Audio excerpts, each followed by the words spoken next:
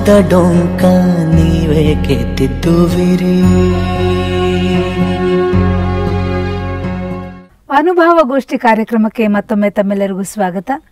ಸ್ನೇಹಿತರೆ, ಶರಣ ಬಂಧುಗಳೇ, ಈ ದಿನ ಬಸವ ಜಯಂತಿ, ಈ ಒಂದು ಬಸವ ಜಯಂತಿಯ ಪುಣ್ಯ ದಿನದಂದು ನಮ್ಮೊಂದಿಗಿದ್ದಾರೆ ಹಿರಿಯ ಸಾಹಿತಿಗಳಾದಂತಹ ಡಾಕ್ಟರ್ ದೊಡ್ಡರಂಗೇಗೌಡರು. ಅವರನ್ನು ಮತ್ತೊಮ್ಮೆ ಕಾರ್ಯಕ್ರಮಕ್ಕೆ ಬರಮಾಡ್ಕೊಳ್ಳೋಣ. ಸರ್, ನಾವು ಬಸವಣ್ಣನವರ ವಚನಗಳ ಒಂದು ವೈಶಿಷ್ಟ್ಯತೆ ಬಗ್ಗೆ ಮಾತಾಡ್ತಾ ಇದ್ವಿ. ಈಗ ಬಸವಣ್ಣನವರ ವಚನಗಳನ್ನು ಎಷ್ಟು ಓದಿದರೂ ನಮಗೆ ಮನಸ್ಸಿಗೆ ತೃಪ್ತಿ ಆಗಲ್ಲ, ಮತ್ತಷ್ಟು ಓದಬೇಕು, ಮತ್ತಷ್ಟು ಕೇಳಬೇಕು ಅನ್ನುವಂಥ ಆಸೆ ತಂತಾನೆ ಹುಟ್ಟುತ್ತಾ ಇರುತ್ತೆ. ಒಂದಷ್ಟು ವಚನಗಳನ್ನು ನಾನೀಗ ವಾಚನ ಮಾಡ್ತೀನಿ. ದಯಮಾಡಿ ಅದನ್ನು ವ್ಯಾಖ್ಯಾನ ಮಾಡಿಕೊಡ್ಬೇಕು ಸರ್, ದಯಮಾಡಿ. ಮೊದಲನೇದಾಗಿ, ಎನಗಿಂತ ಕಿರಿಯರಿಲ್ಲ, ಶಿವಭಕ್ತರಿಗಿಂತ ಹಿರಿಯರಿಲ್ಲ. ನಿಮ್ಮ ಪಾದ ಸಾಕ್ಷಿ ಎನ್ನ ಮನ ಸಾಕ್ಷಿ ಕೂಡಲ ಸಂಗಮ ದೇವ ಎನಗಿದೆ ದಿವ್ಯ. ಬಸವಣ್ಣವರು ಇಲ್ಲಿ ಸರಳವಾಗಿ ತಮ್ಮ ಮಾತುಗಳಲ್ಲಿ ತನ್ನನ್ನು ತಾನು ಮೌಲ್ಯವಂಪನ ಮಾಡಿಕೊಂಡಿದ್ದಾರೆ. ಎಳ್ಳಷ್ಟು ಅಹಂಕಾರವನ್ನು ಹೊಂದದೇ ಇರತಕ್ಕಂಥವರು ಬಸವಣ್ಣನವರು. ದಾಂಬಿಕತನ ಅವ್ರಿಗೆ ಇಷ್ಟ ಇಲ್ಲ. ದರ್ಪ, ದೌರ್ಜನ್ಯ, ದಬ್ಬಾಳಿಕೆ ಇವು ಅವರ ಹತ್ರ ಸುಳಿಯೋದೇ ಇಲ್ಲ. ಅವರ ಮಾತೇ ಅದಕ್ಕೆ ಸೋದಾಹರಣ ಅವರ ಮಾತು ಎಷ್ಟು ನಿದರ್ಶನ ಅಂತಂದರೆ, ಎನಗಿಂತ ಕಿರಿಯರಿಲ್ಲ. ನೋಡಿ, ಎಷ್ಟು ಹಂಬಲ್ ಆಗಿದ್ದಾರೆ ಬಸವಣ್ಣ. ಅತ್ಯಂತ ವಿನಯ, ಅತ್ಯಂತ ವಿನಮ್ರ. ಮನುಷ್ಯ ಎಷ್ಟೆಷ್ಟು ಎತ್ತರ ಏರಿದರೂ ಕೂಡ ವಿನಯವನ್ನು ಬಿಡಬಾರ್ದು. ಅದಕ್ಕೆ ವಿದ್ಯೆಯ ಸಂಸರ್ಗ ಬೇಕು. ವಿದ್ಯಾ ದದಾತಿ ವಿನಯಂ. ವಿದ್ಯೆಯ ಸಂಸರ್ಗದಿಂದ ವಿನಯ ಬರುತ್ತೆ. ಮನುಷ್ಯ ಮನಸ್ಸನ್ನು ಪಳಗಿಸ್ಬೇಕು, ನಡತೆಯನ್ನು ಒಗ್ಗಿಸ್ಕೊಳ್ಬೇಕು. ನಡತೆಯನ್ನು ಪರಿವರ್ತನೆ ಮಾಡ್ಕೊಳ್ಬೇಕಾದ್ರೆ ಅಲ್ಲಿ ಅಹಂ ಅನ್ನೋದು ತ್ಯಾಜ್ಯ. ವಿನಯ ಒಂದೇ ಪೂಜ್ಯ. ಇಲ್ಲಿ ಆ ಮಾತನ್ನು ಹೇಳ್ತಾರೆ ನೋಡಿ ನನಗಿಂತ ಕಿರಿಯರಿಲ್ಲ, ಶಿವಭಕ್ತರಿಗಿಂತ ಹಿರಿಯರಿಲ್ಲ. ಅದು ಅಲ್ಲಿ ಬಹಳ ದೊಡ್ಡ ಮಾತದು ಶಿವಭಕ್ತರಿಗಿಂತ ಹಿರಿಯರಿಲ್ಲ ಅಂತ ಹೇಳಿ. ಬಸವಣ್ಣನವರು ಕೊಟ್ಟಿರ್ತಕ್ಕಂಥ ಅಸಾಧಾರಣ ಮೌಲ್ಯದ ಕಾಣಿಕೆ ಅದು. ಶಿವಭಕ್ತರು. ಶಿವನಿಗಿಂತ ಶಿವಭಕ್ತರು ದೊಡ್ಡರು. ಹೌದು. ಅಕ್ಕರೆಯ ಶರಣ ಶರಣೆಯರೇ. ವಚನಗಳನ್ನು ಎಷ್ಟು ವ್ಯಾಖ್ಯಾನ ಮಾಡಿದರೂ ಕೂಡ ಅಷ್ಟು ಹೊಸ ಹೊಸ ಅರ್ಥಗಳಿಂದ ಹೊಳಿತಾ ಇರುತ್ತೆ. ಅಷ್ಟು ಒಳಹೊಗಳು ವಚನಗಳ ಆಂತರ್ಯದಲ್ಲಿ ಇರುತ್ತೆ. ಈಗ ನೋಡಿ ಉದಾಹರಣೆಗೆ. ಎನಗಿಂತ ಕಿರಿಯರಿಲ್ಲ, ಶಿವಭಕ್ತರಿಗಿಂತ ಹಿರಿಯರಿಲ್ಲ. ನಿಮ್ಮ ಪಾದ ಸಾಕ್ಷಿ, ನಿಮ್ಮ ಮನಸಾಕ್ಷಿ, ಕೂಡಲ ಸಂಗಮ ದೇವ, ಎನಗಿದೆ ದಿವ್ಯ. ಅಲ್ಲಿ ದಿವ್ಯ ಅಂದರೆ ಪ್ರಮಾಣ, ದಿವ್ಯ, ಪ್ರಮಾಣ. ಎನಗಿಂತ ಕಿರಿಯರಿಲ್ಲ, ಬಸವಣ್ಣನವರು ತನ್ನನ್ನೇ ತಾವು ಅತ್ಯಂತ ಚಿಕ್ಕವರಲ್ಲಿ ಚಿಕ್ಕವನು ಅಂತ ಹೇಳಿ ಹೇಳಿಕೊಳ್ಳುವಂಥ ಒಂದು ಸೌಜನ್ಯವನ್ನು, ಒಂದು ವಿನಯವನ್ನು ಪ್ರಕಟ ಮಾಡ್ತಾರೆ. ಅದು ಅವರ ದೊಡ್ಡತನ ಅಷ್ಟೇ. ಎಲ್ಲ ದೊಡ್ಡ ಮನುಷ್ಯರು ಕೂಡ ತಾವು ದೊಡ್ಡವರು ಅಂತ ಹೇಳೋಕ್ಕಿಂತ ತಾವು ತುಂಬ ಚಿಕ್ಕವರು, ತುಂಬ ಚಿಕ್ಕವರಲ್ಲಿ ಚಿಕ್ಕವರು. ತಮಗಿಂತ ಯಾವುದೋ ಒಂದು ಬೇರೆ ಶಕ್ತಿ ಇದೆ, ಅದು ದೊಡ್ಡದು ಅಂತ ಹೇಳಿ. ಇಲ್ಲಿ ಶಿವಭಕ್ತರು, ಶಿವಭಕ್ತರಿಗಿಂತ ಹಿರಿಯರಿಲ್ಲ. ಬಹಳ ಮುಖ್ಯವಾಗಿರ್ತಕ್ಕಂಥದ್ದು. ಶಿವಭಕ್ತರೇ ಇಲ್ಲಿ ತನಗಿಂತ ದೊಡ್ಡ ವ್ಯಕ್ತಿತ್ವವನ್ನು ಹೊಂದಿದಂಥವರು, ಪ್ರಭಾವವನ್ನು ಹೊಂದಿದಂಥವರು. ಚೈತನ್ಯವನ್ನು ಹೊಂದಿದವರು ಈ ಎಲ್ಲ ಅರ್ಥಗಳಲ್ಲಿ ಅವರು ಮಾತು, ಆ ಮಾತಿನ ವಾಗರ್ಥ ಹುದುಗಿದೆ. ಎನಗಿಂತ ಕಿರಿಯರಿಲ್ಲ, ಶಿವಭಕ್ತರಿಗಿಂತ ಹಿರಿಯರಿಲ್ಲ. ಶಿವಭಕ್ತರು ನಿಜವಾಗಿಯೂ ಕೂಡ ದೊಡ್ಡವರು, ಹಿರಿಯರು, ಜ್ಞಾನಿಗಳು. ಅವರ ತಿಳುವಳಿಕೆ ಬಹಳ ದೊಡ್ಡದು. ಅವರ ಮೌಲ್ಯವೂ ಕೂಡ ಅತ್ಯಂತ ಹೆಚ್ಚಾಗಿರ್ತಕ್ಕಂಥದ್ದು. ಅದಕ್ಕೆ ಈ ಮಾತಿಗೆ ಬಸವಣ್ಣವ್ರು ಹೇಳ್ತಕ್ಕಂಥ, ಈ ಮಾತಿಗೆ ನಿಮ್ಮ ಪಾದ ಸಾಕ್ಷಿ. ನಿಮ್ಮ ಮನಸಾಕ್ಷಿ. ಕೂಡಲ ಸಂಗಮ ದೇವ ಎನಗಿದೆ ದಿವ್ಯ? ನನಗಿದೇ ಪ್ರಮಾಣ. ಹಿಂದೆ ಹಳ್ಳಿಗಳ ಕಡೆಯಲ್ಲಿ ಅಗ್ಗಿಷ್ಟಿಕೆಯಲ್ಲಿ ಕಬ್ಬಿಣವನ್ನು ಚೆನ್ನಾಗಿ ಕಾಯಿಸಿ ಆ ಕಾದ ಆ ಕಬ್ಬಿಣದ ಸಲಾಕೆಯನ್ನು ಕೈಯಲ್ಲಿ ಹಿಡಿದು ನಾನು ಕದ್ದಿಲ್ಲ ಅಂತಲೋ ಅಥವಾ ನಾನು ಈ ಹುಡುಗಿನ ಪ್ರೀತಿಸಿಲ್ಲ ಅಂತಲೋ ತಪ್ಪು ಮಾಡಿಲ್ಲ. ನಾನು ತಪ್ಪು ಮಾಡಿಲ್ಲ ಅಂತಲೋ ಪ್ರಮಾಣ ಮಾಡ್ತಾ ಇದ್ರು. ದಿವ್ಯ ಅಂದ್ರೆ ಅದೇ ದಿವ್ಯ. ಕೈಯಲ್ಲಿ ಹಿಡಿದು ಅಂದರೆ ಯಾಕೆಂದರೆ ಬೆಂಕಿ ಅದು ಮೊದಲೇ ಬೆಂಕಿ ಬೆಂಕಿಯನ್ನು ಕೈಯಲ್ಲಿ ಹಿಡಿದು ಅಂತ ಸಂದರ್ಭದಲ್ಲಿ ಯಾರು ಕೂಡ ಸುಳ್ಳು ಹೇಳೋದಿಲ್ಲ ಸತ್ಯ ಅದೇ ಅಗ್ನಿ ದಿವ್ಯ ಹಿಡಿಯುವಂಥದ್ದು. ಅದೇ ಅಗ್ನಿ ದಿವ್ಯ. ದಿವ್ಯ ಅಂದ್ರೆ ಅದೇ. ಆದ್ರಿಂದ ಇಲ್ಲಿ ಬಸವಣ್ಣನವರು ಶಿವಭಕ್ತರ ಮಹಿಮೆಯನ್ನ ಕುರಿತು ಹೇಳ್ತಾ ಇದ್ದಾರೆ. ಶಿವಭಕ್ತರ ಭಕ್ತಿಯ ಔನ್ನತ್ಯ ಭಕ್ತಿ ದೊಡ್ಡದು. ಶಿವಶರಣರು ದೊಡ್ಡವರು. ಶಿವಶರಣರ ಭಕ್ತಿ ಇದೆಯಲ್ಲ ಅದು ಎಲ್ಲಕ್ಕಿಂತ ಹಿರಿದು ಅನ್ನುವ ಮಾತನ್ನ ಇಲ್ಲಿ ಹೇಳ್ತಾ ಇದ್ದಾರೆ. ಹಾಂ ಸರ್. ಮತ್ತೊಂದು ವಚನವನ್ನು ಓದ್ತಾ ಇದ್ದೀನಿ. ಭಕ್ತಿ ಇಲ್ಲದ ಬಡವ ನಾನಯ್ಯ ಕಕ್ಕಯ್ಯನ ಮನೆಯಲ್ಲೂ ಬೇಡಿದೆ ಚೆನ್ನಯ್ಯನ ಮನೆಯಲ್ಲೂ ಬೇಡಿದೆ ದಾಸಯ್ಯನ ಮನೆಯಲ್ಲೂ ಬೇಡಿದೆ ಎಲ್ಲ ಪುರಾತನರು ನೆರೆದು ಭಕ್ತಿ ಭಿಕ್ಷೆ ನಿಕ್ಕಿದಡೆ ಎನ್ನ ಪಾತ್ರೆ ತುಂಬಿತ್ತು ಕೂಡಲ ಸಂಗಮ ದೇವ. ಎಲ್ಲ ಪುರಾತನರು ನೆರೆದು ಅಂದ್ರೆ ಸಂಭವಿಸಿ ಸೇರಿ ಕೂಡಿ ಭಕ್ತಿ ಭಿಕ್ಷೆ. ಬಹುಶಃ ನನಗನ್ಸುತ್ತೆ ನಾನು ಕೂಡ ಕನ್ನಡ ಸಾಹಿತ್ಯವನ್ನು ಅರವತ್ತನೇ ಇಸ್ವಿಯಿಂದ ಓದ್ಕೊಂಡು ಬಂದಿದ್ದೇನೆ ಈ ಐವತ್ತು ವರ್ಷದಲ್ಲಿ. ಯಾವ ಕಾವ್ಯದಲ್ಲೂ ಇಂಥ ಪ್ರಯೋಗ ಇಲ್ಲ. ಭಕ್ತಿ ಭಿಕ್ಷೆ ಎನ್ನುವ ಪ್ರಯೋಗ ಇಲ್ಲ. ಬಸವಣ್ಣನವರು ಇಲ್ಲಿ ನಿಜವಾಗಿಯೂ ಕೂಡ ತುಂಬ ದೊಡ್ಡವರಾಗಿ ಕಾಣ್ತಾ ಇದ್ದಾರೆ ನನಗೆ. ಭಕ್ತಿಯ ಭಿಕ್ಷೆ. ಪುರಾತನರು ಭಕ್ತಿಯ ಭಿಕ್ಷೆಯನ್ನು ಏನಾದರೂ ನನಗೆ ಕೊಟ್ಟಿದ್ದೇ ಆದರೆ ಅದರ ಪರಿಣಾಮಗಳೇನು ಅನ್ನೋದನ್ನು ಇಲ್ಲಿ ಬಹಳ ಚೆನ್ನಾಗಿ ಹೇಳ್ತಾರೆ. ಭಕ್ತಿ ಇಲ್ಲದ ಬಡವ ನಾನಯ್ಯ ಅಂದರೆ ಮನುಷ್ಯ ಅಂದರೆ ಉಪ್ಪು ಖಾರ ತಿನ್ನುವ ಜೀವಿ. ರಾಗದ್ವೇಷಗಳೆಲ್ಲ ಇರುತ್ತೆ ಅವರಲ್ಲಿ. ಎಲ್ಲ ಕಿಲ್ಬಿಷಗಳು ಕೂಡ ಇರುತ್ತೆ. ನಿಜವಾದ ಭಕ್ತಿ ಆಗೋದು ಭಕ್ತ ಆಗೋದು ಕೂಡ ಬಹಳ ದೊಡ್ಡ ಕಷ್ಟದ ವಿಷಯ. ನಿಜವಾದ ಭಕ್ತ ಆಗಬೇಕಾದ್ರೆ ಎಲ್ಲ ಈ ರಾಗ ವಿರಾಗಗಳನ್ನು ದೂರ ಮಾಡಬೇಕು. ಅವೆಲ್ಲ ನಮಗೆ ಆಕರ್ಷಣೆಗಳು. ಆ ಆಕರ್ಷಣೆಗಳನ್ನು ದೂರ ಮಾಡಿದರೆ ಭಕ್ತಿ ಇಲ್ಲದ ಬಡವ ನಾನಯ್ಯ ಕಕ್ಕನ ಮನೆಯಲ್ಲಿ ಕಕ್ಕಯ್ಯನ ಮನೆಯಲ್ಲೂ ಬೇಡದೆ. ಚೆನ್ನಯ್ಯನ ಮನೆಯಲ್ಲೂ ಬೇಡದೆ. ದಾಸಯ್ಯನ ಮನೆಯಲ್ಲೂ ಬೇಡದೆ. ಎಲ್ಲ ಪುರಾತನರು ನೆರೆದು ಭಕ್ತಿಯ ಭಿಕ್ಷವನ್ನು ಇಕ್ಕಿದಡೆ ಎನ್ನ ಪಾತ್ರೆ ತುಂಬಿತು ಅಂತ. ಅಲ್ಲ ಅಂದರೆ ಎನ್ನ ಪಾತ್ರೆ ಅಂದರೆ ತನ್ನ ಬದುಕಿನ ಜ್ಞಾನದ ಕೊಡ. ಅಂದರೆ ಸರ್ವಜ್ಞ ಹೇಳ್ತಾರಲ್ಲ, ಹಲವಂಬಲ್ಲ ಎಲ್ಲ ಒಬ್ಬೊಬ್ಬರಿಂದಲೂ ಒಂದೊಂದು ವಿಷಯವನ್ನು ಕಲ್ತುಕೊಂಡು ತಾನು ದೊಡ್ಡ ಆದ ಭಕ್ತಿ ವಿದ್ಯೆಯ ಪರ್ವತ ಅವನು ಹೇಗಾದ್ನೋ ಹಾಗೇನೆ. ಅರ್ಹರ ಶ್ರೀ ಚನ್ನಸೋಮೇಶ್ವರ ಹೇಳುವಾಗಲೂ ಕೂಡ ಫಲವಂಬಲ್ಲವರಿಂದ ಕಲ್ತು. ಆ ಮಾತನ್ನ ನಾವು ಇಲ್ಲಿ ಜ್ಞಾಪಿಸ್ಕೊಳ್ಬಹುದು. ಸರ್ವಜ್ಞನ ಜ್ಞಾಪಿಸ್ಕೊಳ್ಬಹುದು. ಅದೇ ರೀತಿಯಲ್ಲಿ ಕಕ್ಕಯ್ಯನಲ್ಲೂ ಚೆನ್ನಯ್ಯನಲ್ಲೂ ದಾಸಯ್ಯನಲ್ಲೂ ಎಲ್ಲ ಪುರಾತನರಲ್ಲೂ ಬೇಡಿದ್ದಾರೆ ಅವರೆಲ್ಲ ಏನಾದರೂ ಅವರೆಲ್ಲ ತಮ್ಮ ಜ್ಞಾನವನ್ನು ನನಗೆ ಕೊಟ್ಟಿದ್ದೇ ಆದರೆ ಭಕ್ತಿಯ ಮುಖಾಂತರವಾಗಿ ನಾನು ನನ್ನ ಬದುಕು ಹಾಸನ ಆಗುತ್ತೆ ತುಂಬಿಕೊಳ್ಳುತ್ತೆ, ಸಾರ್ಥಕತೆಯನ್ನು ಪಡ್ಕೊಳ್ಳುತ್ತೆ. ಬದುಕು ತುಂಬಿಕೊಳ್ಳೋದು ಅಂದರೆ ಭಕ್ತಿಯ ಭಕ್, ಎನ್ನ ಪಾತ್ರೆ ತುಂಬಿತ್ತು.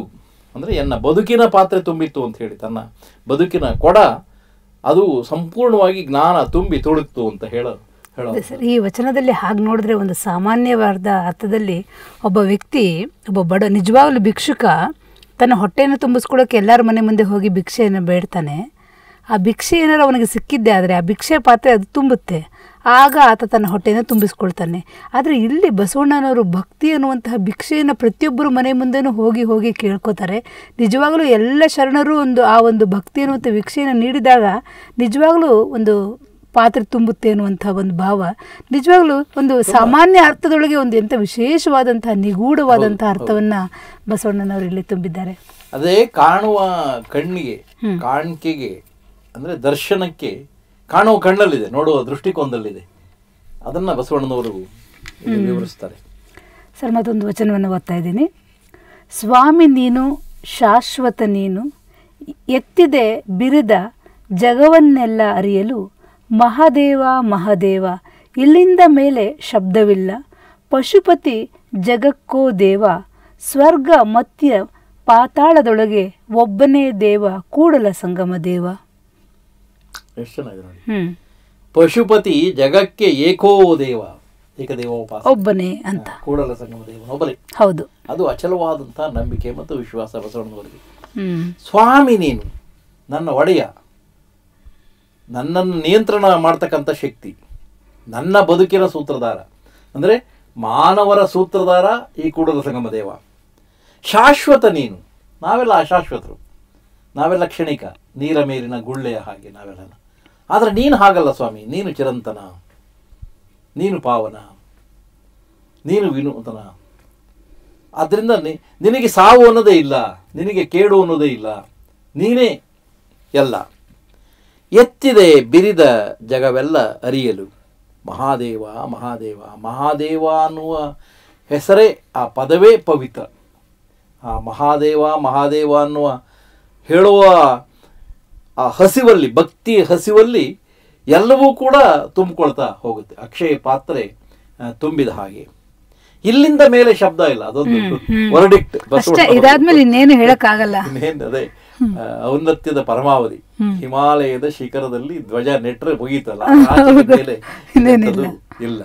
ಆದ್ರಿಂದ ಪಶುಪತಿ ಜಗಕ್ಕೇಕೋ ದೇವ ಸ್ವರ್ಗ ಮರ್ತ್ಯ ಪಾತಾಳದೊಳಗೆ ಒಬ್ಬನೇ ದೇವ ಕೂಡಲ ಸಂಗಮ ದೇವ. ಈ ಸ್ವರ್ಗ ಸ್ವರ್ಗ ಒಂದು ಪರಿಕಲ್ಪನೆ. ಮರ್ತ್ಯ ನಮಗೆಲ್ಲ ಗೊತ್ತು. ಈ ಮಾನವ ಹುಲು ಮಾನವ ಅಂತೀವಿ ನಾವು. ಕೀರ್ತನಕಾರರು ಹೇಳ್ತಾರೆ ವಚನಕಾರರು ಹೇಳ್ತಾರೆ ಜಾನಪದೀಯರು ಹೇಳ್ತಾರೆ ಹುಲು ಮಾನವರು.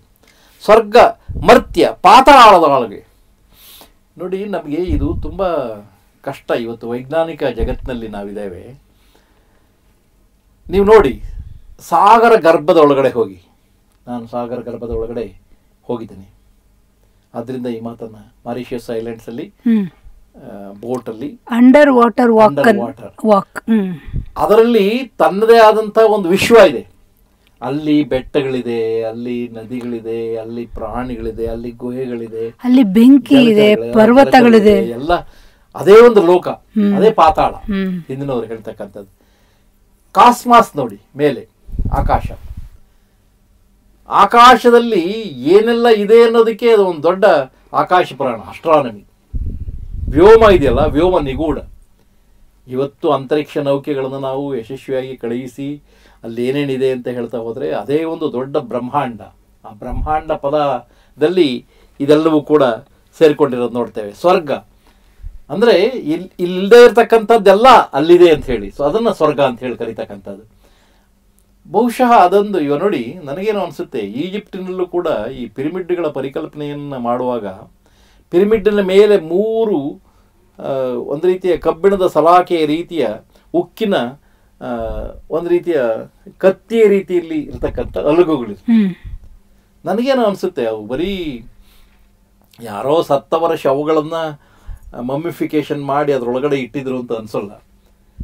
ನನ್ನ ವ್ಯಾಖ್ಯಾನ ಏನು ಅಂತಂದ್ರೆ ಅದು ಅನೂಹ್ಯ ಲೋಕದ ಜೊತೆಯಲ್ಲಿ ಆಗಿನ ಕಾಲದ ಐದನೇ ಅಂದ್ರೆ ಐದು ಸಾವಿರ ವರ್ಷಗಳ ಹಿಂದೆ ಅವರು ಈಜಿಪ್ಷಿಯನ್ಸು ನೇರವಾಗಿ ಅಂತರಿಕ್ಷದ ಜೊತೆಯಲ್ಲಿ ಇಟ್ಕೊಂಡಂಥ ಸಂಬಂಧ ಎಕ್ಸ್ಟ್ರಾ ಟೆರೆಸ್ಟ್ರಿಯಲ್ ಅಂತ ಹೇಳಿ ಕರಿತೇವೆ. ಎಕ್ಸ್ಟ್ರಾ ಟೆರೆಸ್ಟ್ರಿಯಲ್ ಜೊತೆಯಲ್ಲಿ ಇಟ್ಕೊಂಡಂಥ ಸಂಬಂಧಗಳು, ಅದನ್ನೇ ಸ್ವರ್ಗ. ಸ್ವರ್ಗನ ನಾವು ಮರ್ತಿರು ಕಂಡಿಲ್ಲ. ಇವತ್ತು ವಿಜ್ಞಾನಿಗಳು ಅದನ್ನು ಕಾಣಲಿಕ್ಕೆ ಅಲ್ಲೂ ಕೂಡ ನೆಲ ಇದೆ, ಅಲ್ಲೂ ಕೂಡ ಜಲ ಇದೆ, ಅಲ್ಲೂ ಕೂಡ ಬೇರೆ ಮನುಷ್ಯ ಜೀವ, ಜೀವನ ನಡೆಸೋಕೆ ಸಾಧ್ಯ, ಉಸಿರಾಟ ಮಾಡೋಕೆ ಸಾಧ್ಯ, ಜೀವಿಸೋದಕ್ಕೆ ಸಾಧ್ಯ ಇತ್ಯಾದಿಗಳನ್ನ ಹೇಳ್ತಾ ಇದ್ದಾರೆ. ಆದ್ದರಿಂದ ಸ್ವರ್ಗ ಮರ್ತ್ಯ ಪಾತಾಳದೊಳಗೆ ಒಬ್ಬನೇ ದೇವ. ಇದು ಬಹಳ ಮುಖ್ಯ. ಭಾರತ ಎಂಥ ದೇಶ ಅಂತಂದರೆ ನಮ್ಮ ದೇಶ ಬಹುಮುಖಿ ಸಮಾಜ. ನಮ್ಮ ಬಹುಮುಖಿ ರಾಷ್ಟ್ರ. ಮೂವತ್ತಾರು ಸಾವಿರ ದೇವರುಗಳನ್ನು ಯಾವುದಾದ್ರೂ ಒಂದು ದೇಶ ಒಳಗೊಂಡಿದೆ ಅಂತಂದರೆ ಅದು. ಅದು ಭಾರತ ಮಾತ್ರ. ಅಸಂಖ್ಯ ಅಸಂಖ್ಯ ದೇವರುಗಳು. ನಮ್ಮಲ್ಲಿ ನಮ್ಮ ಜಾನಪದೀಯರು ಕಲ್ಲನ್ನ ದೇವರು ಅಂದ್ರು ಮಣ್ಣನ್ನ ದೇವರು ಅಂದ್ರು ಗಿಡವನ್ನ ದೇವರು ಅಂದ್ರು ಮರವನ್ನ ದೇವರು ಅಂತಂದ್ರು. ಒಂದು ಕಾಯಿಲೆ ಬಂತು ಅಂತಂದ್ರೆ ಟಿ ಬಿ ಬಂತು ಅಂತಂದ್ರೆ ಇನ್ನೇನು ಒಂದು ಅದೇ ಹೆಸರಿಗೊಂದು. ಬಂದೇ ಬಿಡುತ್ತೆ. ಅಯ್ಯೋ ಪ್ಲೇಗಮ್ಮ ಅಂತ ಪ್ಲೇಗಮ್ಮ ಅಂತ ದೇವರಿದೆ. ಅದನ್ನೇ ಸರ್ಕಲ್ ನಾನು ಮಾರಮ್ಮ. ಸರ್ಕಲ್ ಮಾರಮ್ಮ. ಅಂದ್ರೆ ತಮಗಿಂತ ಅಗಾಧವಾದದ್ದೇನೋ ಒಂದು ಶಕ್ತಿ ಇದೆ ಅಂತಂದ್ರೆ ಆ ಶಕ್ತಿಯನ್ನು ಒಪ್ಪಿಕೊಳ್ಳುವಂತಹ ಹೃದಯ ವೈಶಾಲ್ಯ ನಮ್ಮ ಮಾನವರಿಗೆ ಇತ್ತು ಅಂತ ಹೇಳಿ. ಆದ್ರಿಂದ ಬಸವಣ್ಣವ್ರು ಇಲ್ಲಿ ಸ್ವಾಮಿ ನೀನು ಶಾಶ್ವತ ನೀನು. ಅಲ್ಲ ಬಾ- ಬಹಳ ಮುಖ್ಯ. ಶಾಶ್ವತ ಮತ್ತು ಅಶಾಶ್ವತ. ನಶ್ವರ. ಮನುಷ್ಯ ಎಲ್ಲಾನ ನಶ್ವರ. ಈ ನಶ್ವರ ಜಗತ್ತಲ್ಲಿ ನ- ನಶ್ವರ ಜಗತ್ತಿನಲ್ಲಿ ಶಾಶ್ವತ ಅನ್ನೋದು ಏನಾದರೂ ಇದ್ದರೆ ಆ ಸೂರ್ಯ, ಆ ಚಂದ್ರ, ಆ ಕೂಡಲ ಸಂಗಮ. ಅಷ್ಟೇನೆ. ಆದ್ದರಿಂದ ಆ ಕೂಡಲ ಸಂಗಮನನ್ನ ವ್ಯಾಖ್ಯಾನಿಸುವ, ಕೂಡಲ ಸಂಗಮನನ್ನು ಆವಾಹಿಸಿಕೊಳ್ಳುವ, ಕೂಡಲ ಸಂಗಮನ ಅಗಾಧತೆಯನ್ನು ಬಣ್ಣಿಸುವ. ಅದೇನು ಅದಕ್ಕೆ ಚೌಕಟ್ಟಿಲ್ಲ ಅದಕ್ಕೆ ಪರಿಧಿ ಇಲ್ಲ. ಆಕಾಶದ ಅನಂತ. ಅನಂತ ಆಕಾಶ ಅನಂತ. ಕುವೆಂಪು ಅವ್ರ ಭಾಷೆಯಲ್ಲಿ ಅದು. ಅನಂತ ಅನಂತ ನೀನು ಅನಂತ ತಾನ್. ಆ ದಿಗ್ದಿಗಂತಗಳ ದಿಗ್ದಿಗಂತಗಳ ಆಚೆ ಇರತಕ್ಕಂಥ ಈ ವ್ಯೋಮ ಇದೆಯಲ್ಲ ಈ ಅದರ ಆಚೆ ಇರ್ತಕ್ಕಂಥ ಎಲ್ಲ ಸತ್ಯಗಳಿದೆಯಲ್ಲ ಅದು ಶಾಶ್ವತ ಮೌಲ್ಯಗಳು. ಆ ಶಾಶ್ವತವಾದಂಥದ್ದು. ಶಾಶ್ವ ಮೌಲ್ಯ ಅನ್ನೋಕ್ಕಿಂತ ಅದನ್ನು ಶಾಶ್ವತ ಶಕ್ತಿಗಳು. ನಾವು ಅಶಾಶ್ವತರು ಅನ್ನೋದನ್ನು ಬಹಳ ವಿನಯವಾಗಿ ಇಲ್ಲಿ ಹೇಳ್ತಾರೆ. ಸರ್, ಒಂದು ಒಂದು ಸಣ್ಣ ಪ್ರಯತ್ನ ನಾನು ಮಾಡ್ತೀನಿ. ಪಂಡಿತ ಶಿವರಾಜ್ ಗವಾಯಿಗಳು ಇದೇ ವಚನವನ್ನು ಬಹಳ ಇಂಪಾಗಿ ಹಿಂದೂಸ್ತಾನಿ ಶೈಲಿಯಲ್ಲಿ ಹಾಡಿದ್ದಾರೆ. ಅದು ಬಹಳ ಚೆನ್ನಾಗಿದೆ. ಸ್ವಾಮಿ ನೀನು, ಶಾಶ್ವತ ನೀನು, ಸ್ವಾಮಿ ನೀನು, ಶಾಶ್ವತ ನೀನು ಎತ್ತಿದ ಬಿರುದ ಜಗವೆಂದರಿಯಲು ಮಹಾದೇವ ಮಹಾದೇವ. ಇಲ್ಲಿಂದ ಮೇಲೆ ಶಬ್ದವಿಲ್ಲ. ಪಶುಪತಿ ಜಗಕ್ಕೆ ಏಕೋ ದೇವ.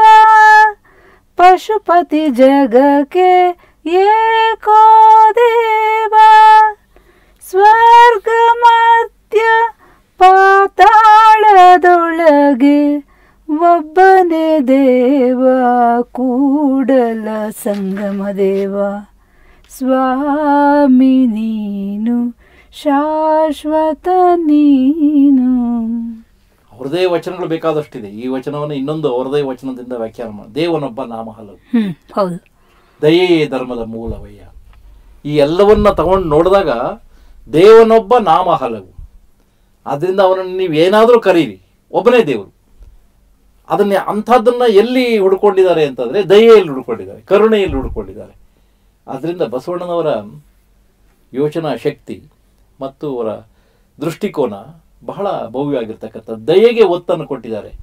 ಇವತ್ತು ಇವತ್ತಿನ ಸಮಾಜದ ದೊಡ್ಡ ವೈಲಕ್ಷಣ್ಯ ಏನು ಅಂದರೆ ನಿರ್ದಯೆ. ಇನ್ನೊಂದು ಜೀವಿಯಲ್ಲಿ ಪರಮಾತ್ಮನನ್ನು ಕಾಣದೇ ಇರತಕ್ಕಂತ ನಿಕೃಷ್ಟರು ನಿಕೃಷ್ಟರು ರೂಕ್ಷ. ಆದ್ರಿಂದ ಈ ರೂಕ್ಷತೆ ನಾಗರಿಕತೆ ಅಲ್ಲ. ರೂಕ್ಷತೆ ಕ್ರೂರ ಬರ್ಬರ. ಆದ್ರಿಂದ ನಾಗರಿಕ ಸಮಾಜದವರೂ ಕೂಡ ತಿಳಿದುಕೊಳ್ಳಬಹುದಾದಂಥ ಹನ್ನೆರಡನೇ ಶತಮಾನದ ಪ್ರಾಚೀನ ವಚನಗಳಲ್ಲಿ ಹನ್ನೆರಡನೇ ಶತಮಾನದ ವಚನಗಳಲ್ಲಿ ಇವತ್ತಿಗೂ ನಮ್ಮ ಬದುಕಿಗೆ ಬೆಳಕಾಗಬಲ್ಲಂತಹ ಜ್ಞಾನ ನಿಧಿ ಅಲ್ಲಿದೆ. ಮತ್ತೊಂದು ವಚನವನ್ನು ನಾನು ಹೋಗ್ತಾ ಇದ್ದೀನಿ.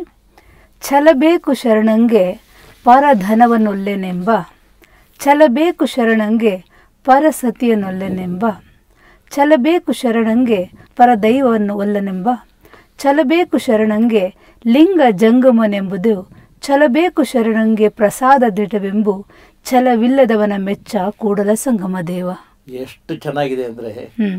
ನಾವು ಸಾವಿರ ಮಾತಲ್ಲಿ ಹೇಳಬಹುದಾದದನ್ನ ಬಸವಣ್ಣನವರು ಒಂದು ವಚನದಲ್ಲಿ ಹೇಳಿದ್ದಾರೆ. ಒಂದು ವಚನದಲ್ಲಿ ಹೇಳಿದ್ದಾರೆ. ಇವತ್ತಿಗೂ ಇದು ಪ್ರಸ್ತುತ. ಇವತ್ತೇ ಹೆಚ್ಚು ಪ್ರಸ್ತುತ. ಹೌದು ಹೌದು. ಬಸವಣ್ಣನ ವಚನಗಳು ಪ್ರಸ್ತುತವೇ ಅಂತ ಏನಾದರೂ ಪ್ರಶ್ನೆ ಕೇಳಿದರೆ ಅದು ಪ್ರಸ್ತುತ. ಈ ಹೊತ್ತಿಗೂ ಕೂಡ ಅದು ಅನ್ವಯ ಮಾಡಬಹುದು. ಛಲ ಬೇಕು ಶರಣಂಗೆ ಪರಧನವನೊಲ್ಲೆನೆಂಬ. ಪರಧನವನೊಲ್ಲೆನೆಂಬ ಛ ಛಲ ಬೇಕು ಶರಣಂಗೆ. ಇವತ್ತೆಲ್ಲಿ ಇನ್ನೊಬ್ಬರ ಹಣದಿಂದ ತಾನು ಆಯುಷಾರಾಮಿ ಬದುಕನ್ನು ಕಟ್ಟಿಕೊಡುವಂತಹ ವ್ಯಕ್ತಿಗಳೇ ಜಾಸ್ತಿ. ನಾನು ಈ ಈ ವೇದಿಕೆಯನ್ನು ಬಳಸ್ಕೊಂಡು ಒಂದು ಮಾತನ್ನು ಹೇಳ್ತೇನೆ. ಅಕ್ರಮವಾಗಿ ದುಡ್ಡನ್ನು ಸಂಪಾದನೆ ಮಾಡೋದೇ ಒಂದು ದಂಧೆಯನ್ನಾಗಿ ಮಾಡಿಕೊಂಡಿರ್ತಕ್ಕಂಥ ಅನೇಕ ಜನರು ಅದರಲ್ಲಿ ಬಹುಪಾಲು ರಾಜಕಾರಣಿಗಳು. ಆ ಥರ ನಮಗನ್ಸಿದೆ ಅಷ್ಟು ಉದಾಹರಣೆಗಳು ನಮ್ಮ ಮುಂದೆ ಇದೆ. ಒಂದು ಒಬ್ಬ ಮನುಷ್ಯ ಒಂದು ಮೂವತ್ತು ವರ್ಷ ಅಥವಾ ನಲವತ್ತು ವರ್ಷದ ಬದುಕಲ್ಲಿ ಇಷ್ಟು ಐಶ್ವರ್ಯವನ್ನ ಸಂಪಾದನೆ ಮಾಡಕ್ ಸಾಧ್ಯನೇ ಇಷ್ಟು. ಮನೆಗಳನ್ನು ಕಟ್ಟಕ್? ಮಾಡಿ. ಬಂಗಲೆಗಳನ್ನು ತಗೊಳಕ್ ಸಾಧ್ಯನೇ ಇಷ್ಟು ಎಸ್ಟೇಟ್ಗಳನ್ನು ತಗೊಳಕ್ ಸಾಧ್ಯನೇ ಅಂತ ಹೇಳಿ ಯೋಚನೆ ಮಾಡಿದಾಗ ಅವರೆಲ್ಲರ ಮನೆ ಮುಂದೆ ಇದನ್ನ ಬೋರ್ಡ್ ಹಾಕ್ಬೇಕು.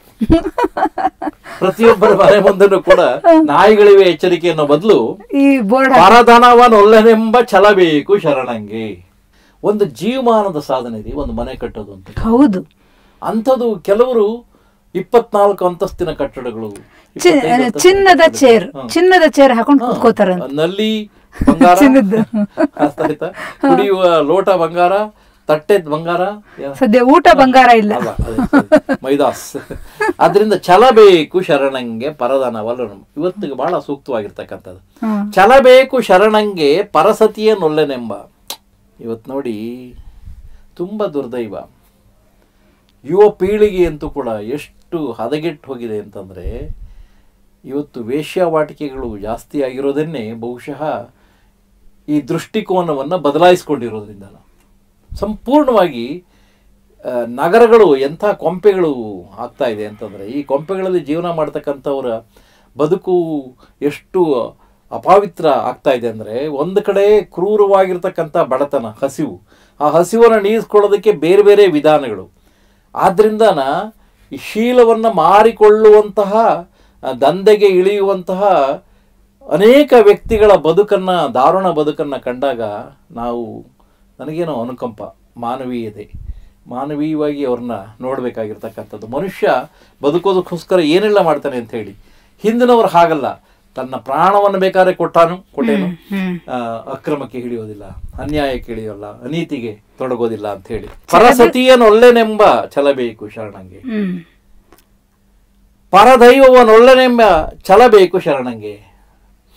ನೂರು ದೇವರನ್ನೆಲ್ಲ ನೂಕಾಚೆ ದೂರ. ಕುವೆಂಪು ಆದ್ರಿಂದ ಇಲ್ಲಿ ಕೂಡಲ ಸಂಗಮ ದೇವ ನೀ ಬಾರ. ಅಷ್ಟೇನೆ. ಲಿಂಗ ಜಂಗಮವನ್ ಒಂದೆಂಬ ಲಿಂಗ ಜಂಗಮವನ್ ಒಂದೆಂಬ ಛಲಬೇಕು ಶರಣಂಗೆ. ಪ್ರಸಾದ ದಿಟವೆಂಬ ಅಂತ ಪ್ರಸಾದ ನೋಡಿ ಅದನ್ನು ಊಟ ಅನ್ನೋಲ್ಲ ಯಾರು ಮಠಗಳಲ್ಲಿ ಊಟ ಅನ್ನೋಲ್ಲ. ಅದನ್ನ ಪ್ರಸಾದ ಅಂತ ಹೇಳ್ತೇವೆ. ದೇವರು ಕೊಟ್ಟದ್ದು. ಏನು ದೇವ್ರು ಏನು ಕೊಡ್ತಾನೆ? ಅದನ್ನ ನಾವು ಸ್ವೀಕಾರ ಮಾಡ್ತಕ್ಕಂಥದ್ದು. ಚಲಬೇಕು ಶರಣಂಗೆ ಪ್ರಸಾದ ದಿಟವೆಂಬ ಅದನ್ನು ಅನುಮಾನದಿಂದ ನೋಡೋದಿಲ್ಲ. ಹೌದು. ಆದರೆ ಇವತ್ತು ದುರ್ದೈವ ಪ್ರಸಾದದಲ್ಲೇ ವಿಷವನ್ನು ಬೆರೆಸುವಷ್ಟು ಮುಟ್ಟಾಳತನವನ್ನು ವ್ಯಕ್ತಿಗಳು ತೋರ್ತಾ ಇದ್ದಾರೆ ಅಂತಂದರೆ ಮನುಷ್ಯ ಯಾವ ನೀಚ ಕೃತ್ಯಗಳಿಗೆ ಇಳಿತಾ ಇದ್ದಾನೆ ಅಧಿಕಾರಿಗಳಿಗಾಗಿ ಸಿಂಹಾಸನಕ್ಕಾಗಿ. ತನಗೆ ಎಲ್ಲ ಐಷಾರಾಮ ಭೋಗ್ಯಗಳು ಬೇಕು ಅನ್ನುವ ಕಾರಣಕ್ಕಾಗಿ ಭೋಗಗಳು ಬೇಕು ಅನ್ನುವ ಕಾರಣಕ್ಕಾಗಿ. ಅದರಿಂದ ಪ್ರಸಾದ ಪವಿತ್ರ ಅಷ್ಟೇ ಛಲವಿಲ್ಲದವರ ಮೆಚ್ಚ ಕೂಡದ ಸಂಗಮ ಆದ್ದರಿಂದ ನಮಗೆ ನಾವೇನೇ ಈ ನೀತಿ ನಿಯಮಗಳನ್ನು ನಮಗೆ ನಾವೇ ಹಾಕೋಬೇಕು. ನೈಸರ್ಗಿಕ ನಿಯಮಗಳು ಬೇರೆ ಇರುತ್ತೆ. ಆ ನೈಸರ್ಗಿಕ ಅಂದರೆ ಇವತ್ತು ಸಂಸ್ಕೃತಿ ವಿಕೃತಿ ಆಗ್ತಾ ಇದೆ.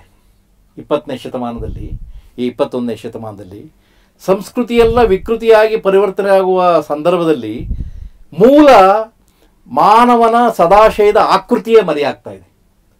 ಅದು ಅಂತಂದ್ರೆ ಜೀವನ ವಿಧಾನ. ಆ ಜೀವನ ವಿಧಾನದಲ್ಲಿ ಮೌಲ್ಯಗಳಿರಬೇಕು. ಸತ್ಯ ಒಂದು ಮೌಲ್ಯ. ಧರ್ಮ ಒಂದು ಮೌಲ್ಯ, ನ್ಯಾಯ ಒಂದು ಮೌಲ್ಯ, ನ್ಯಾಯ, ನೀತಿ, ಸತ್ಯ, ಧರ್ಮ ಪರಿಪಾಲನೆ ಮಾಡ್ತಾ ಇದ್ದಾರೆ ಹಿಂದಿನವರು. ಹಿಂದಿನವರ ನೆಮ್ಮದಿಯ ಬದುಕಿಗೆ ಅನೇಕ ಕಾರಣಗಳು. ಅದರಲ್ಲಿ ಇದು ಕೂಡ ಒಂದು. ತಮ್ಮದಲ್ಲದೇ ಇರತಕ್ಕಂಥ ಒಂದು ಬಳಪ ಅಲ್ಲಿ ಬಿದ್ದಿದ್ರು, ಒಂದು ಪೆನ್ಸಿಲ್ ಅಲ್ಲಿ ಬಿದ್ದಿದ್ರು ಕೂಡ, ಒಂದು ಪೆನ್ನಲ್ಲಿ ಬಿದ್ದಿದ್ರು ಅದನ್ನು ಎತ್ತಿ ಅವ್ರು ತಗೋತಾ ಇರಲಿಲ್ಲ. ಇವತ್ತು ಆ ಥರದ್ದು ಏನಾದರೂ ಒಂದು ನಿರೀಕ್ಷೆ ಮಾಡೋಕ್ಕಾಗುತ್ತಾ? ನಾವು ಖಂಡಿತ ಇವತ್ತು ಬೆ- ಬದಲಾದ ಸಂದರ್ಭದಲ್ಲಿ ಇದ್ದೇವೆ. ಆ ಸಂದರ್ಭ ವಿಷಮ ಸಂದರ್ಭ ಆಗಿದೆ. ಆದ್ದರಿಂದ ಈ ವಿಷಮ ಸಂದರ್ಭದಲ್ಲಿ ಬಸವಣ್ಣನವರ ಈ ಅಮೃತ ವಚನ ನಮಗೆ ಮಾರ್ಗದರ್ಶನ ನೀಡುತ್ತೆ. ಇವನಾರವ ಇವನಾರವ ಇವನಾರವನೆಂದೆನಿಸಯ್ಯ.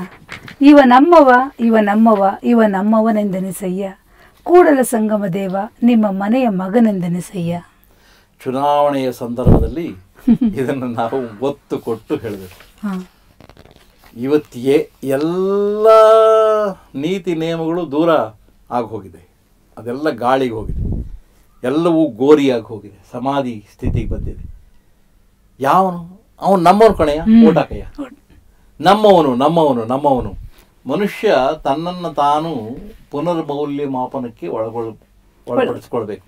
ಇಲ್ಲಿ ನೋಡಿ ಇವನಾರವ ಇವನಾರವ ಇವನಾರವನೆಂದೆನಿಸದಿರಯ್ಯ ಇವ ನಮ್ಮವ ಇವ ನಮ್ಮವ ಇವ ನಮ್ಮವನೆನಿಸ ಕೂಡಲ ಸಂಗಮ ದೇವ ನಿಮ್ಮ ಮನೆಯ ಮಗನೆಂದು ಎನಿಸಿದೆ ಇವತ್ತೇನಾಗಿದೆ? ವರ್ಗೀಕರಣ, ಭೇದ ಭಾವ, ಅಸಮಾನತೆ. ಅಂಬೇಡ್ಕರ್ ಅವರು ಹೇಳಿರ್ತಕ್ಕಂಥದ್ದು ಸಮಾನತೆಯ ಸಮಾಜ. ಸಂವಿಧಾನ ಹೇಳ್ತಕ್ಕಂಥದ್ದು ಅದೇನೆ. ಸಂವಿಧಾನದಲ್ಲಿ ದತ್ತವಾಗಿರ್ತಕ್ಕಂಥದ್ದು ಏನು ಅಂದರೆ ಸಾಮಾಜಿಕ ನ್ಯಾಯ. ಆ ಸಾಮಾಜಿಕ ನ್ಯಾಯವನ್ನು ಹನ್ನೆರಡನೇ ಶತಮಾನದಲ್ಲೇ ಒದಗಿಸಿದಂಥ ಮಹಾನ್ ವ್ಯಕ್ತಿ ಬಸವಣ್ಣನವರು, ದಾರ್ಶನಿಕರು. ಆದ್ದರಿಂದ ಮುಂದಿನ ದಿನಮಾನಗಳನ್ನು ಅವರು ಯೋಚನೆ ಮಾಡಿದ್ರು ಅಂತ ಕಾಣುತ್ತೆ. ಮುಂದಿನ ಮಾನವ ಕುಲ ಹೇಗೆ ಬದುಕಬೇಕು ಅನ್ನೋದನ್ನು ಕೂಡ ಹೇಳಿರ್ತಕ್ಕಂಥದ್ದು. ಬಹುಶಃ ಈ ವಚನದಲ್ಲಿ ಅದನ್ನು ನಾವು ಕಾಣ್ತಾ ಹೋಗುತ್ತೆ. ದೂರ ಇಡ್ತಾ ಹೋದರೆ ದೂರ ಇಡ್ತಾ ಹೋದರೆ ಪ್ರತಿಯೊಬ್ಬರನ್ನೂ ದೂರ ಇಡ್ತಾ ಹೋದರೆ ನೀವು ಮನುಷ್ಯತ್ವವನ್ನೇ ಕಳ್ಕೊತಾ ಹೋಗ್ತೀರಾ. ಆದ್ದರಿಂದ ಇವ ನಮ್ಮವ ಇವ ನಮ್ಮವ ಅಂತ ಹೇಳಿ ಸ್ವೀಕಾರ. ಅವನು ಈ ಜಾತಿ ಅಲ್ಲ ಮುಖ್ಯ ಅಲ್ಲಿ. ಪ್ರೀತಿ ಬಹಳ ಮುಖ್ಯ.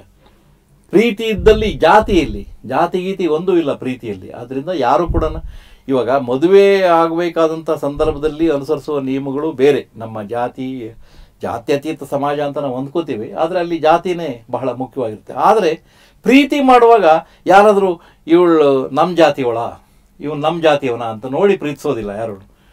ಅಲ್ವಾ ಬಯೋಡೇಟ್. ಅಥವಾ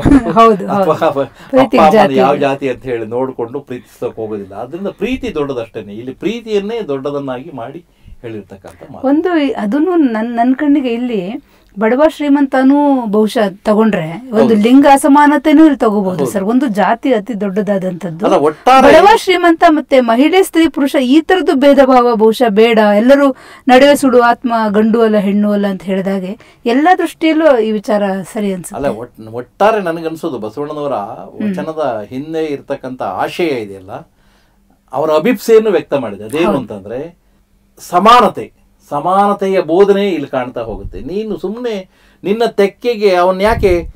ಅವನು ಕುಷ್ಠರೋಗಿ ಅಂತ ನೋಡ್ತೀರಾ?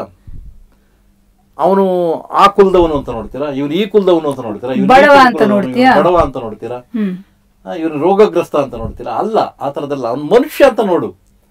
ಮನುಷ್ಯ ಅಂತ ನೋಡೋದ್ರಲ್ಲೇನೆ ಮಾನವೀಯತೆಯೇ ನಮ್ಮ ಅದೇನಾಗೋಗಿದೆ ಅಂದರೆ ಹಕ್ಕಿ ಸಿದ್ದೈ ಪುರಾಣಿಕರು ಬಹಳ ಚೆನ್ನಾಗಿ ಬರೀತಾರೆ. ಹಕ್ಕಿಯಂತೆ ಹಾರೋದನ್ನು ಕಲ್ತಿದ್ದಾನೆ ಮನುಷ್ಯ. ನೀರಿನಲ್ಲಿ ಮೀನಂತೆ ಈಜೋದು ಕಲಿಸಿದ್ದಾನೆ. ಆಕಾಶದಲ್ಲಿ ಏನು ಬೇಕಾದ್ರೂ ಹಾರೋದು ಕಲ್ತ್ಕೊಂಡಿದ್ದೀನಿ ಎಲ್ಲಿ ಆದರೆ ಮಾನವ ಮಾತ್ರ ಆಗಲಿಲ್ಲ ಅಂತ ಹೇಳಿ.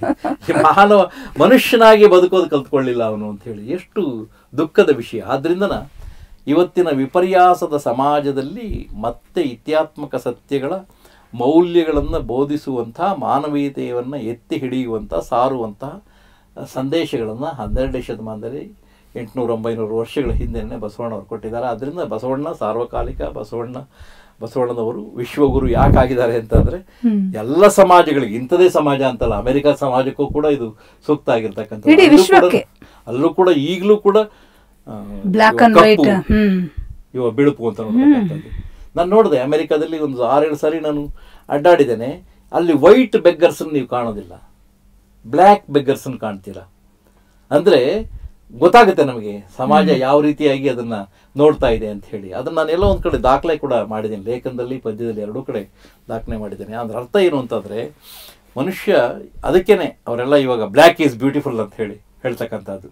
ಆದ್ದರಿಂದ ಬಹುಶಃ ನನಗನ್ಸೋದು ಈ ತಾರತಮ್ಯ ಬುದ್ಧಿ ಹೋಗಬೇಕು. ಅಕ್ಕರೆ ಒಂದೇ ರಾಜ್ಯ ಆಳಬೇಕು. ಪ್ರೀತಿ ನಮಗೆ ಮುಖ್ಯ ಆಗಬೇಕು. ಆದ್ದರಿಂದ ನಲ್ಮೆಯೇ ಯುಗದ ಧರ್ಮ ಆಗಬೇಕು. ಮಾನವೀಯತೆ ಯುಗದ ಧರ್ಮ ಆಗಬೇಕು. ಸರ್ ಮತ್ತೊಂದು ವಚನವನ್ನು ಓದ್ತಾ ಇದ್ದೀನಿ. ಹುತ್ತವ ಬಡಿದೊಡೆ ಹಾವು ಸಾಯಬಲ್ಲುದೆ ಅಯ್ಯ. ಅಘೋರ ತಪವ ಮಾಡಿದೊಡೇನು ಅಂತರಂಗ ಆತ್ಮಶುದ್ಧಿಲ್ಲದವನೆಂತು ನಂಬುವನಯ್ಯ ಕೂಡಲ ಸಂಗಮ ದೇವ. ಎಲ್ಲೋ ರೋಗ ಇರೋದು. ಇನ್ಯಾರಿಗೂ ಇದು ಮಾಡ್ತಾರೆ ಅರ್ಥ ಆಯ್ತಾ? ಅದೇ ಆ ಜಾನಪದರು ಹೇಳ್ತಾರೆ ಸರ್ ಎತ್ತಿಗೆ ಎಮ್ಮೆ ಜ್ವರ ಬಂದ್ರೆ ಎಮ್ಮೆಗೆ ಬರ ಹಾಕಿದ್ರು ಅಂತ. ಹ್ಮ್. ಆ ತರ ಆಗೋಗಿದೆ. ಹುತ್ತ ಪಡೆಯೋದ್ರಿಂದ ಏನು ಪ್ರಯೋಜನ ಇಲ್ಲ. ಅದರಿಂದ ಸಮಸ್ಯೆ ಪರಿಹಾರ ಆಗೋದಿಲ್ಲ. ಆದ್ದರಿಂದ ನಮ್ಮ ಬಹುಶಃ ನಾವು ಮೂಲ ಸಮಸ್ಯೆ ಯಾವುದು ಅಂತ ಅರ್ಥ ಮಾಡಿಕೊಂಡು ಅದಕ್ಕೆ ಕಾಯಕಲ್ಪ ಮಾಡಬೇಕು. ರೋಗ ಯಾವುದು ಅಂತ ಸರಿಯಾದ ರೀತಿಯಲ್ಲಿ ಹುಡುಕಬೇಕು. ಆ ರೋಗಕ್ಕೆ ತಕ್ಕಂತೆ ಚಿಕಿತ್ಸೆ ಮಾಡಬೇಕು. ಅದು, ಅದನ್ನು ಬಿಟ್ಬಿಟ್ಟು ಇನ್ನು ಉಳಿದು ಏನೇ ರೀತಿಯಲ್ಲಿ ಮಾಡಿದರೂ ಕೂಡ ಅದು ಅಸಮರ್ಪಕ ಅಂತ ಹೇಳಿ ಅನಿಸ್ತಾ ಹೋಗುತ್ತೆ. ಅನಾರೋಗ್ಯಕರ ಅಂತ ಹೇಳಿ ಅನಿಸ್ತಾ ಹೋಗುತ್ತೆ. ಸರ್, ಕೊನೆಯದಾಗ ಒಂದೊಂದು, ಕೊನೆಯ ಒಂದು ವಚನ. ಲೋಕದ ಡೊಂಕ ನೀವೇ ಕಿತ್ತಿದ್ದುವಿರಿ. ನಿಮ್ಮ ನಿಮ್ಮ ತನುವ ಸಂತೈಸಿಕೊಳ್ಳಿ. ನಿಮ್ಮ ನಿಮ್ಮ ಮನವ ಸಂತೈಸಿಕೊಳ್ಳಿ ನೆರೆಮನೆಯ ದುಃಖಕ್ಕೆ ಅಳುವವರ ಮೆಚ್ಚ ಕೂಡಲ ಸಂಗಮ ದೇವ. ಈ ಸ್ವಚ್ಛ ಕರ್ನಾಟಕ ಸ್ವಚ್ಛ ಕರ್ನಾಟಕದ ಅಭಿಯಾನ ಇದೆಯಲ್ಲ ಸ್ವಚ್ಛ ಭಾರತದ ಅಭಿಯಾನ ಇದೆಯಲ್ಲ ಇದು ಹೀಗೆ ಬಂದಿದೆ. ನಾನು ಬಹಳಷ್ಟು ಬೀದಿಗಳಲ್ಲಿ ನಾನು ನೋಡಿದ್ದೇನೆ. ಅವ್ರ ಮನೆ ಕಸ ಗುಡಿಸಿ ಅವ್ರ ಮನೆ ಅಂಗಳದ ಕಸ ಗುಡಿಸಿ ಇನ್ನೊಬ್ಬರ ಮನೆ ಮುಂದಕ್ಕೆ ತಂದು ಹಾಕೋದು. ಇದೇ ಆಗೋಗಿದೆ ಹೋಗಿದೆ. ಆದ್ರಿಂದ ನೀವು ಇಡೀ ಜಗತ್ತನ್ನ ತಿದ್ದೋದಕ್ಕೆ ಹೋಗಲ್ಲ. ಮೊದಲು ನಮ್ಮನ್ನು ನಾವು ತಿದ್ದುಕೊಳ್ಬೇಕಾಗಿದೆ ನಾವೇ ನಮ್ಮ ವರ್ತನೆಗಳಲ್ಲೇ ಅನೇಕ ಐಬುಗಳಿದೆ. ನಾವೇ ದೋಷಯುಕ್ತರು. ದೋಷ ದೋಷಮುಕ್ತರಾಗಿರ್ತಕ್ಕಂಥ ಸಮಾಜವನ್ನು ನಾವು ಮಾಡಕ್ಕೆ ಹೊರಟ್ರೆ ಮೊದಲು ನಾನು ಎಷ್ಟರ ಮಟ್ಟಿಗೆ ನನ್ನನ್ನು ನಾನು ಕನ್ನಡಿಯಲ್ಲಿ ನೋಡ್ಕೊಳ್ಬೇಕಾಗಿದೆ. ನನ್ನನ್ನು ನಾನು ಆತ್ಮವಿಮರ್ಶೆ ಮಾಡ್ಕೊಳ್ಬೇಕಾಗಿದೆ. ಬಸವಣ್ಣವರು ಮುಖ್ಯವಾಗಿ ಅದು ಆತ್ಮವಿಮರ್ಶೆ ಮಾಡ್ಕೊಳ್ಳಿ ನಿಮ್ಮನ್ನು ನೀವು ಸರಿಪಡಿಸ್ಕೊಳ್ಳಿ ಆಮೇಲೆ ಜಗತ್ತಿನ ಕಡೆಗೆ ನೋಡಿ ಅಂತ ಹೇಳಿ. ಅದು ಆ ದೃಷ್ಟಿಕೋನ ಅತ್ಯಂತ ಆರೋಗ್ಯಕರವಾದಂಥದ್ದು. ಸ್ನೇಹಿತರ ಶರಣ ಬಂಧುಗಳೇ ಇದುವರೆಗೂ ದೊಡ್ಡರಂಗೇಗೌಡರು ನಮ್ಮ ಹಿರಿಯ ಸಾಹಿತಿಗಳು ಬಸವ ಜಯಂತಿ ದಿನ ಇಲ್ಲಿಗೆ ಬಂದು ಬಸವಣ್ಣನ ವಚನಗಳನ್ನು ನಮಗೆ ವ್ಯಾಖ್ಯಾನ ಮಾಡ್ತಾ ಬಸ್ ವಚನಗಳ ಮಹತ್ವವನ್ನು ನಮಗೆ ತಿಳಿಸಿಕೊಟ್ಟಿದ್ದಾರೆ. ಬಸವ ಟಿವಿಯ ಪರವಾಗಿ ಅವರಿಗೆ ತುಂಬು ಹೃದಯದ ಧನ್ಯವಾದಗಳು. ಥ್ಯಾಂಕ್ ಯು ಸರ್ ನಮಸ್ಕಾರ. ಥ್ಯಾಂಕ್ ಯು ಬಸವಣ್ಣನವರ ವಚನಗಳು ಈಗಲೂ ಕೂಡ ಪ್ರಸ್ತುತ ಎಲ್ಲ ಮನೆಯಲ್ಲಿ ವಚನಕಾರರ ವಚನಗಳು ಇರಬೇಕು ಅಂತ ಹೇಳಿ ನಾನು ಎಲ್ಲ ಶರಣ ಶರಣೆಯರ ಅಷ್ಟೇಲಿ ಹೇಳ್ತೇನೆ. ಎಲ್ಲ ಮಾನವರ ಮನೆಗಳಲ್ಲೂ ಕೂಡ ಇರಲೇಬೇಕಾದಂಥದ್ದು ವಚನಗಳ ಸಂಗ್ರಹ. ವಚನದ ಸಂಪುಟಗಳು ಇರಬೇಕು ಅಂತ ಹೇಳ್ತಾನೆ. ಅವುಗಳನ್ನು ಓದೋದ್ರಿಂದ ನಮ್ಮ ಬದುಕನ್ನು ನಾವು ಹದಗೊಳಿಸ್ಕೊಳ್ಬೋದು ಈ ದಿನ ಬಸವ ಜಯಂತಿ, ಬಸವ ಜಯಂತಿಯ ಶುಭಾಶಯಗಳು. ಬಸವ ಜಯಂತಿಯನ್ನು ಬಹಳ ಅರ್ಥಪೂರ್ಣವಾಗಿ ತಾವೆಲ್ಲ ಆಚರಣೆ ಮಾಡಿ ಅಂತ ಹೇಳ್ತಾ ಇಂದಿನ ಕಾರ್ಯಕ್ರಮವನ್ನು ಇಲ್ಲಿಗೆ ಮುಗಿಸ್ತಾ ಇದ್ದೇವೆ. ಅನುಭವಗೋಷ್ಠಿ ಕಾರ್ಯಕ್ರಮ ಇಲ್ಲಿಗೆ ಮುಗಿಯುತ್ತೆ. ನಿರಂತರವಾಗಿ ನೋಡ್ತಾ ಇರಿ ಶ್ರೀ ಬಸವ ಟಿವಿ. ಇದು ಸಂಸ್ಕಾರದ ಬೆಳಕು. ಎಲ್ಲರಿಗೂ ಶರಣ ಶರಣಾರ್ಥಿ.